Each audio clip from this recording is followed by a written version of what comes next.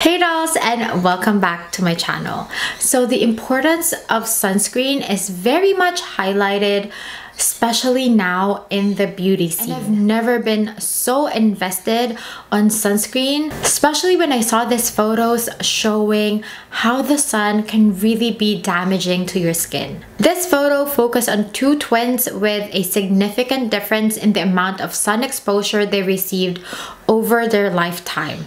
The twin on the right had about 10 more hours per week of sun exposure than the twin on the left and the perceived age difference between the two of them is 11 years when in fact they are twins and they have the same age. This really shows how sun protection is very important to prevent rapid aging and sun damage. Dermatologists recommend applying sunscreen on a daily basis, even on a cloudy or overcast days. UV radiation can penetrate clouds and reach the skin, so it's very important to protect yourself consistently. So how often should you reapply your sunscreen? It is suggested that you reapply your sunscreen every two hours or more frequently if you're sweating heavily or you're swimming. Even water resistant sunscreen, they wear off over time, so reapplication is very crucial to maintain that protection. But here's the dilemma, especially for us ladies, how do we reapply sunscreen if we already have a full face of makeup? How do we do it, especially every two hours without our makeup melting or peeling? So I've tested several types of a sunscreen formulation for you guys so we can see which one is best to use over makeup. And I also use a UV camera to see how effective each one is. If you're new to UV camera, this is how it works. So sunscreen can appear black or dark on a UV camera because many sunscreens contain ingredients that absorb or block ultraviolet radiation. So UV cameras are designed to detect UV light which is invisible to the naked eye. When UV light interacts with certain sunscreen ingredients, it can cause the sunscreen to absorb or scatter the UV radiation, making it appear dark or black on a UV camera image.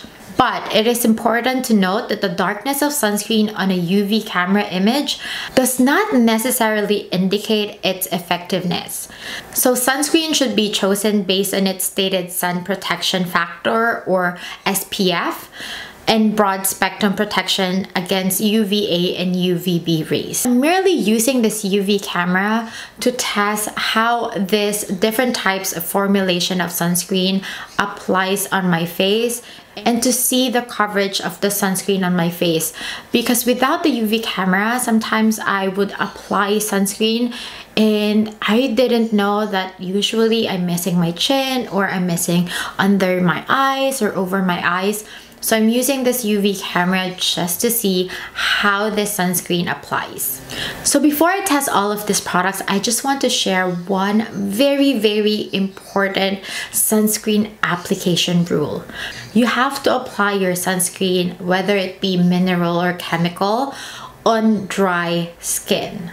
First of all, if you put mineral sunscreen on wet skin, it will not go on. And with chemical sunscreen, it goes on top layer of your epidermis to absorb ultraviolet rays so it doesn't go on your skin and it prevents skin damage. So if you're going to apply it on wet skin, then it will truly affect the absorption of the chemical sunscreen on your skin. I always see a lot of people applying a sunscreen freshly out of the pool when their skin is still wet and I used to do that too. And then I'm surprised that a sunburn happened on my skin. And that's because the sunscreen is not fully absorbed on my skin, especially when I'm applying it on wet skin. So just always make sure that you apply your sunscreen, whether it be on your face or on your body on dry skin. And if you're using a moisturizer, make sure that your moisturizer is fully absorbed onto your skin. So maybe wait for like 15 minutes before applying your sunscreen over your moisturizer just to make sure that your moisturizer and your sunscreen doesn't mix and and it doesn't affect the efficacy of your sunscreen. So now let's go on to testing this different sunscreen formulation on top of makeup. So, the first sunscreen that I'm going to show you is a cream sunscreen. The one that I'm loving right now is the Beauty of Joseon Relief Sun Rice Plus Probiotics SPF 50 Plus PA plus plus plus. This is also the formula I love to wear under makeup. It is very nourishing, it has no white cast, and it's not sticky. I never thought I could wear this over makeup though. Like how would I? Like if I apply it on top of my makeup and I rub it on my makeup, I'm pretty sure that my makeup's gonna melt. Until I research how other girls use it and it's genius. I learned that the best way to use this over makeup is using an air cushion puff. So I'm using a cushion sponge from my cushion foundation, but, but you can also get this cushion puff from Amazon. It's called an air cushion puff. It does not absorb product, but it applies the sunscreen well on the face. You can see that it did not disturb my makeup so much, but since I have powder on, it made my powder settle on my pores a little bit. Looking at the UV camera, this type of application gave me a good sunscreen coverage. And because of the consistency of the cream, I'm barely missing a few areas with sunscreen. I just missed the side of my nose, so I made sure to fold my puff and really pat the sunscreen on that side and also under my eye. The second sunscreen formulation that I tested is a matte sunscreen stick. This form of sunscreen is so on trend because it's easy to carry around. You can use it on your body, you can use it on your face, and it's just very portable. Of all the sunscreen formula, I really love this matte sunscreen stick because I have oily combination skin and I get really oily. So I love how this formula really mattifies my face. One thing to note when using a sunscreen stick is to warm it on the back of your hand first so it melts a little bit and it's easier to apply onto your skin. You can see that the makeup can transfer on the stick but it's so easy to apply this over and under makeup. And you can see under the UV camera, it really spreads well.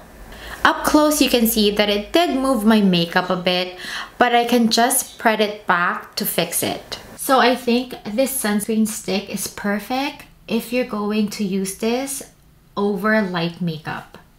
The third sunscreen formula that I'll be showing is a face mist sunscreen. This is the Sun Bum SPF 45 sunscreen face mist. I love this because it doesn't have a typical chemical smell that you get from the usual sunscreen mist. It actually smells like bananas. It also sprays really well on the skin and on the UV camera you can see that it really covered my face well. The only part that I usually miss when I'm using a face mist sunscreen is my chin. Because when you spray like it usually goes on the top of your face and on the side. So make sure that if you're using a sunscreen face mist make sure that you also spray upwards so that this part also gets covered. It also did not bother my makeup. Even if I oversprayed in this video I really think I oversprayed in this video. I think that you can just go with one spray across in front and then above and that's it. But I really love this face mist so I went overboard with it. The only thing with this face mist on your first reapplication you're still gonna be fine but on your second third fourth it can really make you look very oily and especially if you have oily combination skin type as me make sure you have a pressed powder handy to mattify your face. And speaking of powder, the fourth formulation is a powder SPF. The one that I'm using is the Supergoop Mineral Resetting Powder with SPF 45. I love how this looks over makeup because it's already a powder so my makeup will not get disturbed by it plus it also mattifies my face at the same time but if you look closely on the UV camera, I can't really tell where it goes. Remember when I said that this UV camera does not really tell you how effective your SPF is. It just tells you where it is being applied. And although minimally I can see where my SPF goes, like I really have to put a lot for it to show. So I think with powder sunscreen, even with adequate quantities, it can't really give you the level of sun protection that your skin really needs. You can use this as a touch-up or additive product, but I won't rely on it. I think that I'm going to use this when I look too oily using my face mist or my cream sunscreen to mattify my face, but I'm not going to use this solely to protect my face from the sun. So now that I've shown you four formulations of sunscreen on top of makeup, I think that I love each one for a specific occasion. I still prefer using cream sunscreen under makeup to moisturize my face. For every day when I'm just wearing a light makeup, I will then use my stick sunscreen. And on days when I have heavy makeup on, I would use my sunscreen face mist together with my sunscreen powder to mattify my face. Okay dolls, I hope that you find this video helpful. I hope that you don't forget to apply your sunscreen on a daily basis no matter what the weather is and whether you're indoor or outdoor. And also don't forget to like this video, don't forget to subscribe and hit that notification bell so you'll always be updated once a new video is out. Thank you so so much dolls again for watching and I'll see you on my next one.